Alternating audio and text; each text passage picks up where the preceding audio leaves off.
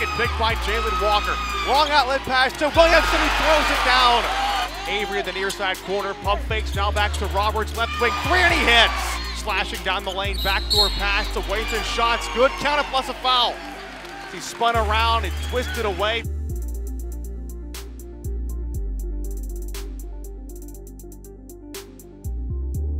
End of the key, pass low post, Wayton, he slams it down with one hand.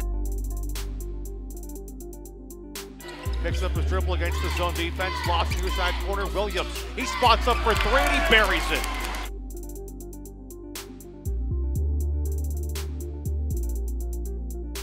Avery pump fakes, he'll drive inside the post, dumps it off the dueling reverse layup, good. Basketball far side corner, Walker, long skip pass to Roberts near side wing. He lines up the three and he drains it.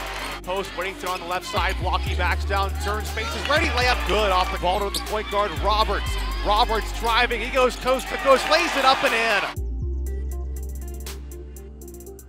Back in their zone, Avery up top, passes left wing Peterson. He lines up from downtown, he bangs it in. The low post area, Whittington on the left block. He's backing down Butler. Righty hook shot good in the low post by Phil Whittington. Right wing to Williamson, back left wing Walker. Three ball is on the way and he buries it. Williams on the left wing, being guarded by Thomas. Shot clock's under 10 seconds and 5 seconds. Williams, end of the key, drives, ready, fall the way, two off the glass, good. Just stolen away, Williamson who slams it down again.